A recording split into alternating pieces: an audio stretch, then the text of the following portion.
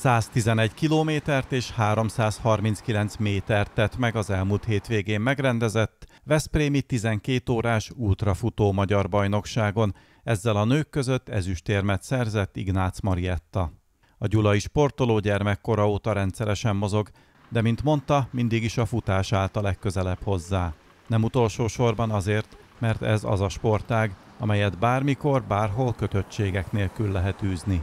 Mondhatnám, hogy az elejétől fogva már valahogy az első maraton után már nem, nem a kisebb távok voltak számomra hogy mondjam, előtérbe, hanem egyre hosszabb és egyre nehezebb célokat tűztem ki magamnak, és valahogy a, azt szokták mondani, hogy ez egy ilyen ön, ön, önmegvalósítási az út, tehát hogy önismereti út, hogy valahogy szerintem nekem erre volt szükségem, hogy egy, egy ilyen hosszabb táv alatt tudom megismerni önmagamat, az, hogy milyen frissítés, mire van szükség, átgondolni az egész életemet, vagy az éppen az aznapomat. Tehát valahogy mindig az elejétől fogva az hosszú távok vonzottak. Ignác Marietta elmondta, az éves tervében a Veszprémi verseny nem szerepelt, így külön nem is készült erre.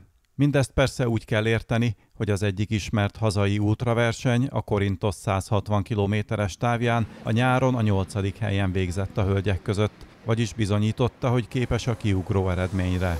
A Veszprémi országos bajnokságról azt mondta, nem volt elvárás a saját magával szemben, ugyanakkor most is igyekezett a legtöbbet kihozni magából. Úgy voltam vele, hogy ez egy lehetőség, és próbáljak élni vele. Úgy gondolom, hogy a edzettségem alapján úgy gondolom a maximálist kihoztam most magamból. Nyilvánvaló tudom, hogy ennél lehetne jobb is, meg lehetett volna jobb is, de teljesen elégedett vagyok ezzel az eredménnyel. Az meg különösen, hogy ez most országos bajnoki második helyezethez elég volt.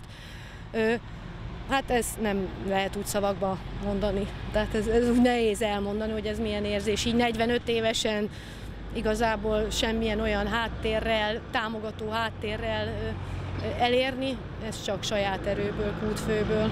A Gyulai de Balatonfüredi színekben versenyző atléta elmondta, pozitív visszajelzéseket kapott az ezüstérme után, ez a gratulációk mellett leginkább abban mutatkozik meg, hogy egyre többen keresik, hogy induljon versenyeken.